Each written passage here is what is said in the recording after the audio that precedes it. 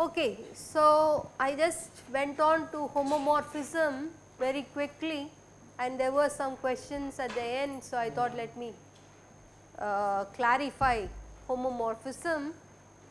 So, the first thing is it is a map between two groups. Okay. We wrote this between group G1 and G2 we can write a map and then we look for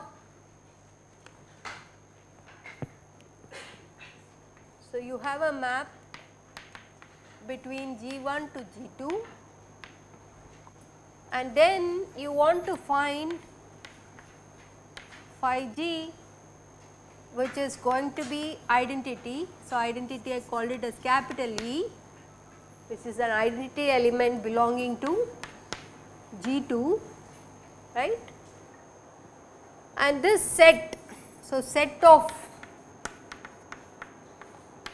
elements in G1 okay. So, there is a set of elements let me call it as set G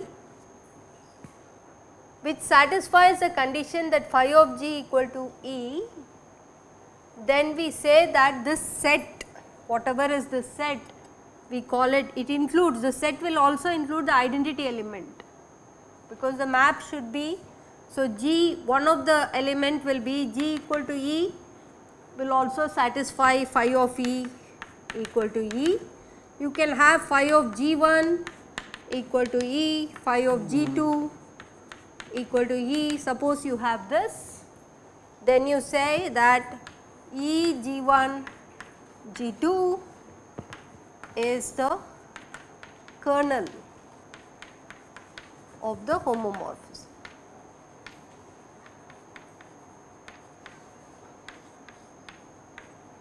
Okay.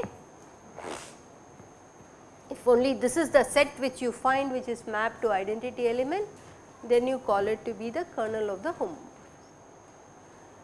If we find only E, only E satisfying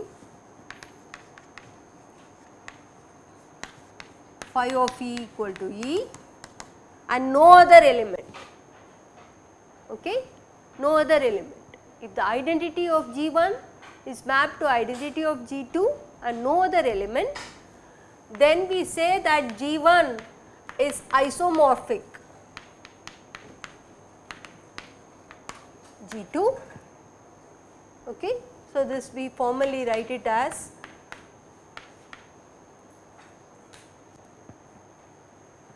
fine no other elements Once this is satisfied those things will also be not satisfied because of the group properties. You can disprove it. Okay. So, this is a very stringent condition. Once I put this condition all those 2 to 1 mapping and all will never be possible. Okay. And for this case we try to look at a simple example which was symmetric group where I took the K which is an invariant subgroup or a normal subgroup that one had E, B and B squared right. This has an invariant subgroup which is this and then we looked at a factor group which is G mod k correct and this G mod k was just E and A. Are all with me? And then I said that the factor group should always be done with the invariant subgroup and then somebody pointed out that I could have factored it by this group and that is also fine. Why is it fine in this case? Can somebody tell me? it turns out that the group G divided by a group EA, the symmetric group let us take. Hmm? Why this is also a group? Why does it satisfy the group properties? Do you know why? This group has only one non-trivial element. There is no point in talking about left coset and right coset. Right? Invariant subgroup has this property that left coset is same as right coset. Right? If the group itself has only one element, okay, which means that you have only two cosets to start with, right. One coset with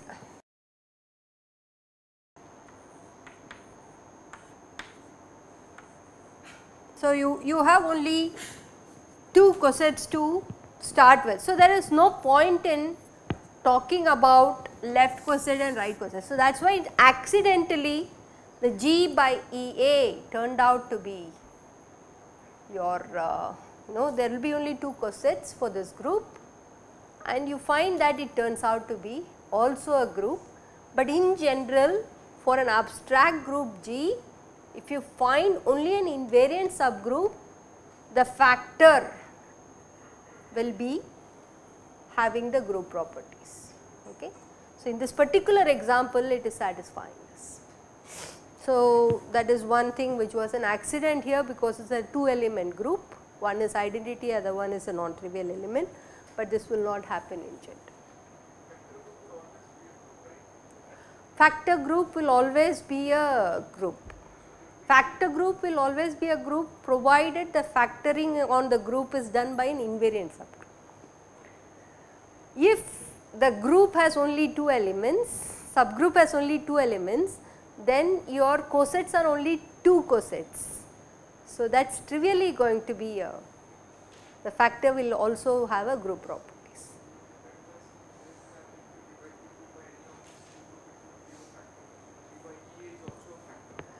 it is also a factor group, but this factor group also has left coset equal to right coset trivially. See any group which will allow left coset being right coset will always the factor will always be a group. In this case it is non-trivial. In, in the two element groups order 2 groups if you have it becomes a very trivial statement. That is why it happened that that one is also a factor. Someone was pointing it out at the end of the lecture.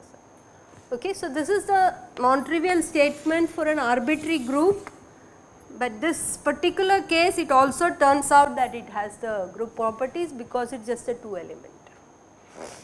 So, whenever you have a 2 element subgroup, then the number of cosets will be only 2, right?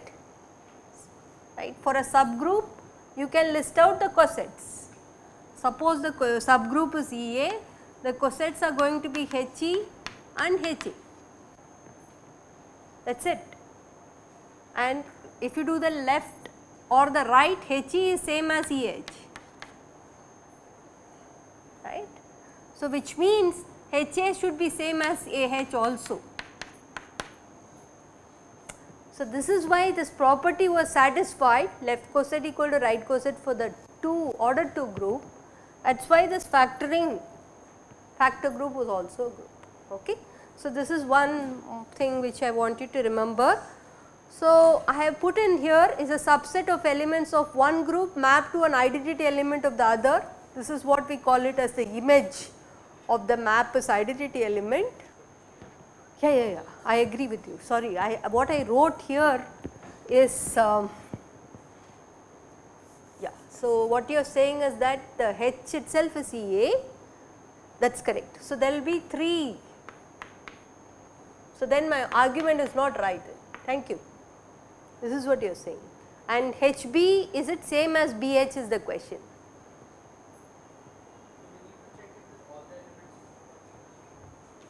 If the left coset and right coset are same then we can use this property is what I am thinking but maybe you will have a proof for a order 2 group. Thank you. This is not what I wrote is not right. H itself is EA. So, you have to multiply on the right or on the left. So, this is not clear now. So, this is what you will get as left coset and right coset. Most probably left coset and right coset are not same, but still we find this to be a group, right. This one is nothing but E B B squared which is a group. Why is it happening is the question. Can you give a proof? Maybe you can think about it. I think it is the order 2 group, but it may be something more. Okay. Thank you. Fine.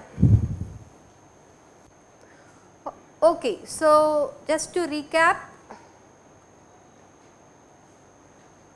so I have already done groups, subgroups, then coset of a subgroup, coset is always associated with a subgroup and generators are all possible powers of the generators okay, will constitute the group elements. We discussed this in the last lecture. Also told that for every group you can write a multiplication table along row and column it will be some permutations of the group elements, but all the elements will be there along a row or along a column. Normal or invariant subgroup in this case left coset is same as right coset. Conjugate subgroups remember that we said that for the symmetric group you could write the conjugate subgroups. Which were the conjugate subgroups? Conjugate subgroups are take EA as a subgroup and then do the conjugation right and then you will end up getting H1 will be some element B H B inverse right H2 will be AB H AB inverse I do not know I am just trying to write it like this elements which does not belong to that set. So, if you do this then you know that H1 is conjugate to H2 and H1 is conjugate to H. Okay. So, both are conjugate to H according to this equations and from these two you can also say that H1 is conjugate to.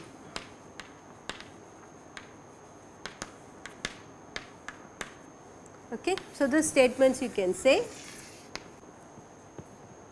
So, I said that you start with the subgroup and generate other groups. If it is an invariant subgroup, can you find a conjugate to an invariant subgroup? Invariant subgroup definition is that arbitrary element of a group A multiplying that invariant subgroup is same as invariant subgroup times A. So, from here you can see that the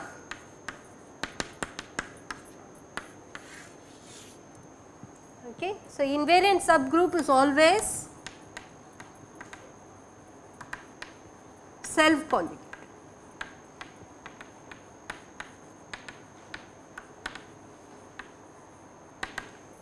Okay.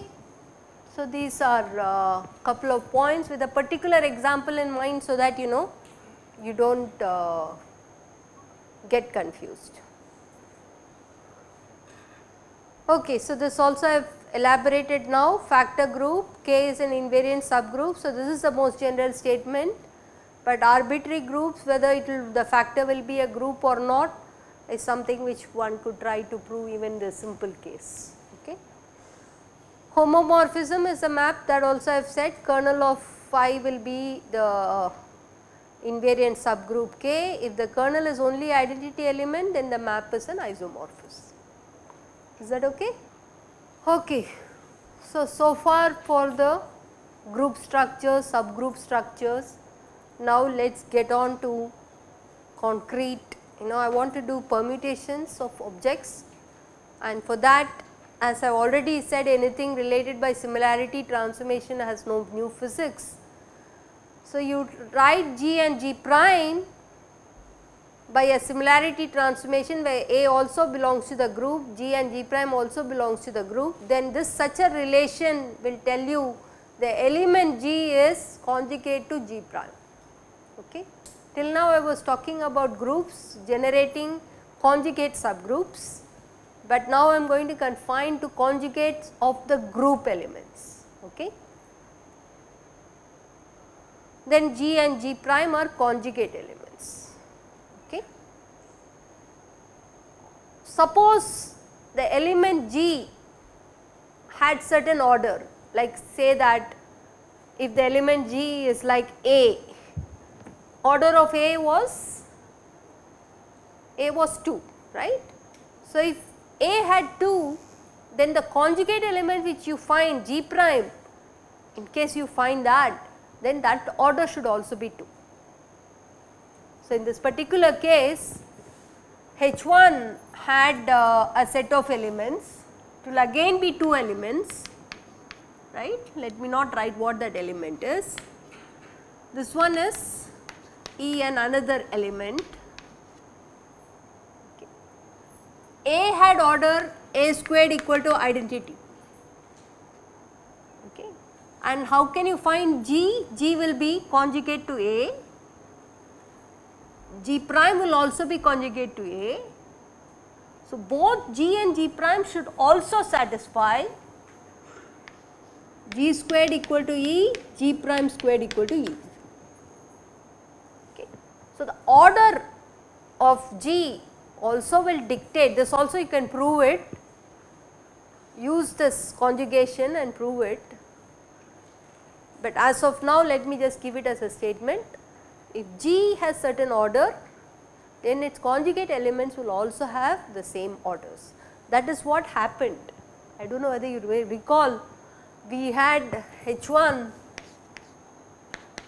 one was E and AB other one was someone a squared b or ab squared. So, you can check. Ab ab and ab squared will be conjugate to a. Okay why it's that? You can show that ab a ab if you do it. You can get what BA was AB squared, A squared cancel, B squared A will become again AB, it will become B squared I think. I do something wrong? AB squared. So, this is what you will get. So, A is conjugate to AB squared. If A squared is identity, you can do it twice here. You can show that AB squared the whole squared is also identity. Is that clear? Order of the group element which is conjugate to another group element should share the same order. That is why H1, H2, H3 each one had order 2 element. So, these 2 will have order 2 element only. Okay? Yeah. AB inverse. Did I make a mistake? Yeah, it should be inverse. Inverse, I was just thinking it is an order 2 group, so it is the same, but technically I have to put it as. AB inverses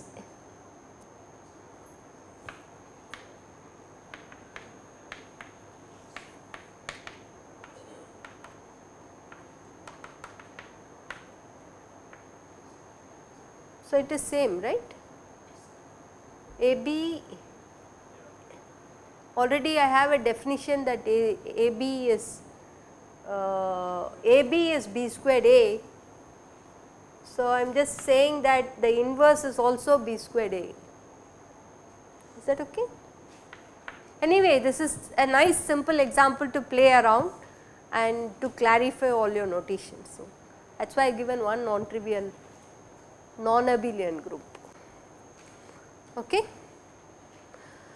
Okay, for the symmetric group, now I want you to, we did various things. For symmetric group, we wrote it as a disjoint union of cosets, right. We also looked at what are the subgroups, we looked at what whether it has an invariant subgroup and so on. So, we did all these things for the symmetric group. I want you to find out the grouping of conjugate elements. Can you do that? Now we have done it already. So, it is not very difficult. Can you tell me what are the conjugate elements?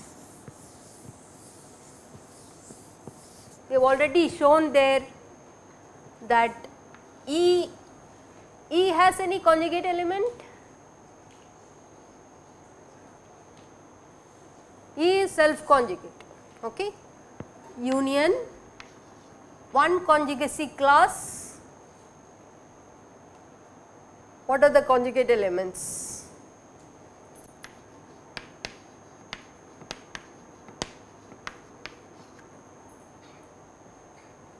Okay.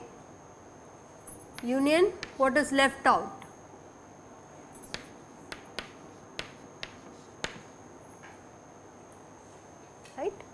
So, you will see that this bracketed one is the set of elements conjugate to each other. By doing some similarity transformation, you can show that BA B inverse will give you one of the elements in this set only. Okay. So, this is what we call it as a conjugacy class.